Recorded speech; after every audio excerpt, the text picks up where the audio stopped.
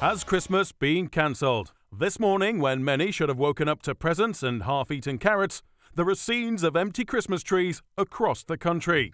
We're getting reports in from hundreds of people who have risen this morning to what appears to be a cancelled Christmas.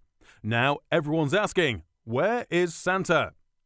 According to the Global Santa Tracker, it appears that Santa's last reported delivery was here in the northeast of England, but ominously, he hasn't moved on since then.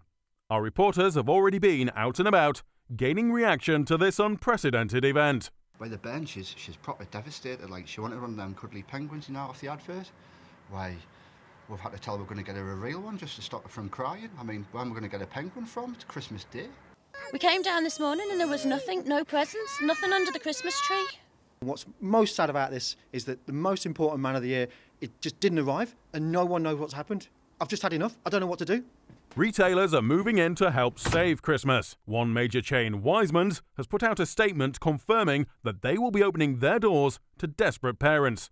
I have with me now, live on video phone, CEO of Wisemans, Jeremy Turner. Good morning, Mr. Turner. Good morning. So you are opening your doors to allow parents to put some presents under the tree. Absolutely. We're working as quickly as we can to get as many people in, to get the staff in to open stores throughout the country. We've got the staff in here in the office calling um, calling in staff. Um, everybody's pulling together. It's their Christmas too, but they want to save this very special day. And what time do you expect your doors to be open?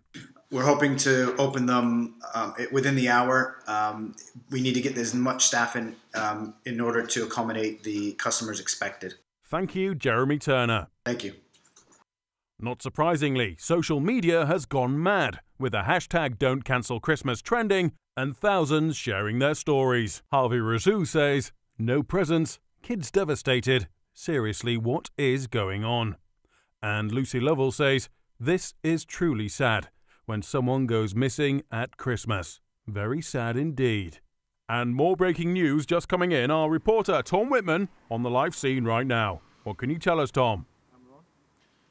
We understand that a man was knocked down around midnight right here at this location. You can see the incident behind us. As yet, police are not really revealing any further details uh, regarding the incident or indeed the name or identity of the man involved. Already a crowd is starting to gather as people try and piece together what is occurring. Uh, did you see what happened here, sir? Uh, I didn't know. I'd just been out with the dog and saw the commotion, came to see what was happening. Uh, and what about you? What's brought you down here? Um, I got a text from one of my friends, and he was saying that Christmas had been cancelled. So I heard about the accident and decided to come and see what was going on. Uh, um, and what about you, young man? I woke up this morning and there was no presents under the tree, so I thought there was something wrong. Obviously, something is going on, and as we get more information, we will bring it to you as soon. As we're just getting something handed here. Actually, a statement from the police regarding the incident. Um, they can confirm that a large elderly gentleman with a white beard was involved in a road traffic collision in which he was exiting his sleigh. The driver who knocked him over has been remanded in custody. His blood alcohol was twice over the limit. Uh, the casualty still remains in a critical condition, and the police are appealing for further witnesses. But on the face of that, tragically, it appears that everyone's Christmas this year will be cancelled due to the mindless act of a drunk driver. Don't cancel Christmas because of a drink.